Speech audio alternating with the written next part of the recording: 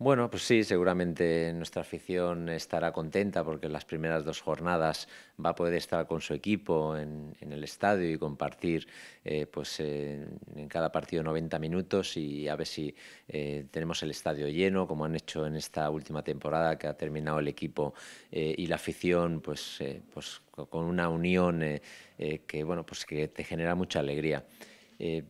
Bueno, mm, tenemos que empezar eh, con el que sea. A mí la verdad es que, mm, como dicen algunos, vamos a mirar cada día, cada semana qué partido tenemos y vamos a prepararnos para ese eh, partido inmediato. Eh, a partir de la primera jornada, después de jugarla, pues ya pensaremos en la segunda. La verdad es que no me va a preocupar mucho contra quién juguemos, cuándo lo juguemos.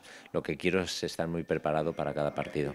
Ojalá tengamos la oportunidad de de llegar a, ese final de, liga con, las opciones, con los objetivos eh, que nos hayamos marcado y que durante la temporada los vayamos eh, eh, generando. ¿no?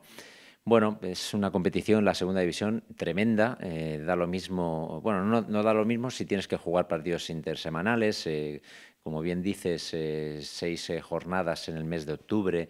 Eh, pues bueno, pues para eso hay que tener una plantilla competitiva, que todos se sientan partícipes, que todos quieran jugar y que el míster tenga a disposición a todos los jugadores. Vamos a intentar eh, estar preparados para todas las jornadas y el calendario es este y nos vamos a adaptar seguro.